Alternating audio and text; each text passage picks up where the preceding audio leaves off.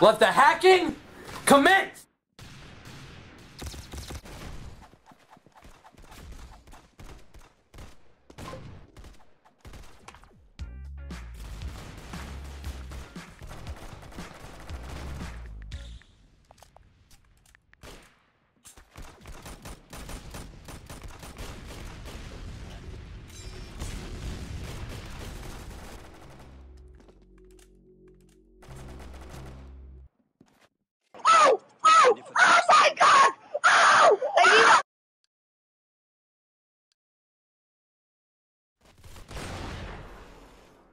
How could this happen?